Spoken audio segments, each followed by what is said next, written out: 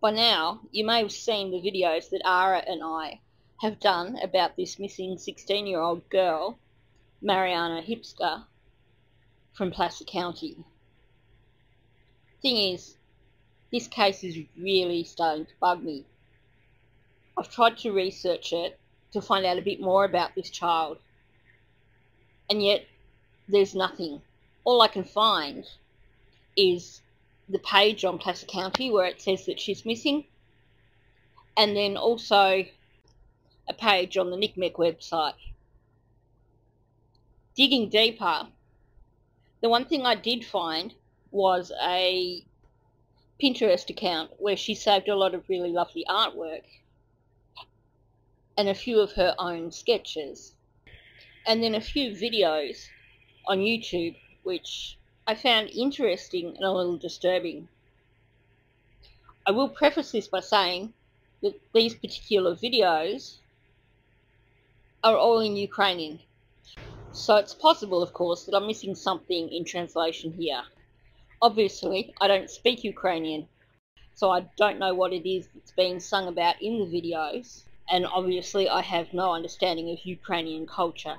So perhaps there are things here that if someone with a Ukrainian background saw them, they'd think nothing of them.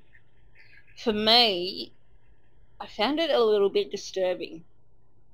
First of all, you have these children all dressed in these white robes. I'm not sure why that is, but they have those crown things on their heads.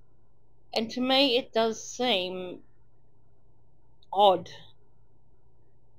I don't know, maybe I'm reading something into it totally wrong, but it does seem odd. Curiously, another thing that I discovered when I was trying to research Maryana was that when you do a Google search, it appears as if she's attended many different schools over her time. Also appears that as a 16 year old, she's already enrolled in Sierra College interesting. Was she another child who graduated early? A violinist who graduated early from high school? But the big thing for me is why is nobody asking where his child is? Surely there must be people out there who care about her.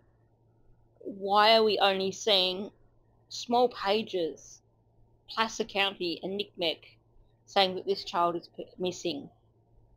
Does she have parents somewhere? And what about the people behind these videos? Do they know she's missing? Do they care that she's missing? What's going on here? And more importantly, what the heck is Placer County doing? Don't they care about their kids? I've added a few extracts from the videos that I referred to on the end of this so you can have a look and I'll also add the links to those videos so that if you are interested, you can go and watch the videos in full. This child needs to be found, but I honestly wonder if there's anyone out there that cares enough to look for her.